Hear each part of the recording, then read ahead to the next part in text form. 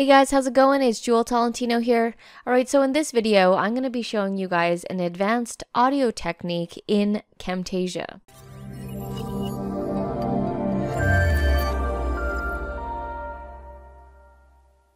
Okay, so I came across doing this when I was creating the promo video for the Camtasia course that we have. So if you don't know, I recently just released a Camtasia course and I had to create a promo video for it.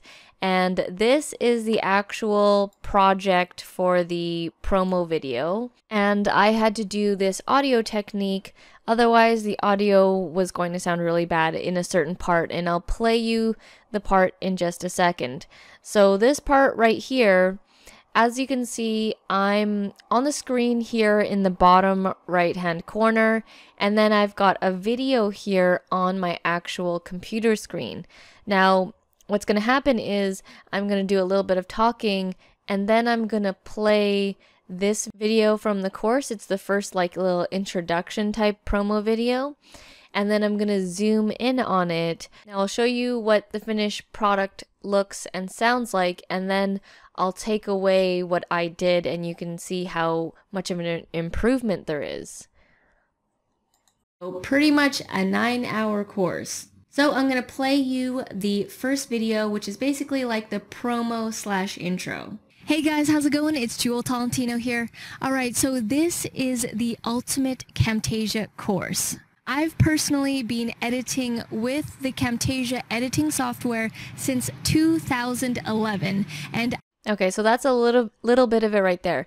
So as you can hear, the audio sounds fine, it's super clear, and it's great. But initially it was not like that. So when I was doing this screen record, this is what it originally sounded like. So I'm going to zoom in here. So I'm going to move this and I'm going to raise the audio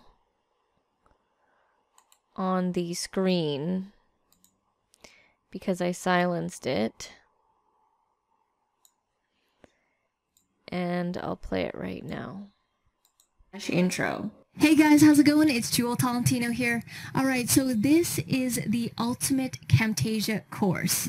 I've personally been editing with the Camtasia editing software since 2011 so you can hear that the audio quality is a lot poorer than the final product. And that's because when I was playing this video of my screencast recording, it was recording off of my computer. And you obviously you're not going to get the best sound quality other than the original.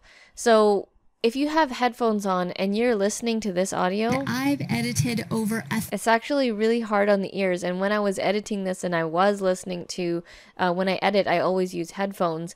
It sounded like really painful to hear when you're coming from this sound.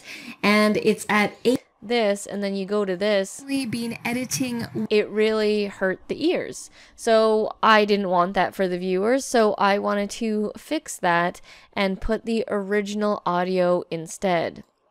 So this audio right here the one that i'm moving this is from the original video. This video right here on the screen so I did a little bit of like a matrix inception thing. So this right here, it looks like, you know, I'm on the computer screen and then I zoom in on it and then it's actually the audio from the original. So what you need to do is grab your audio from your original video. And in this case, it was right here. And I separated the audio. So I had this right here this was the original video that I had. You can see it right here. Now, you might be wondering like, oh, why don't you just put that instead?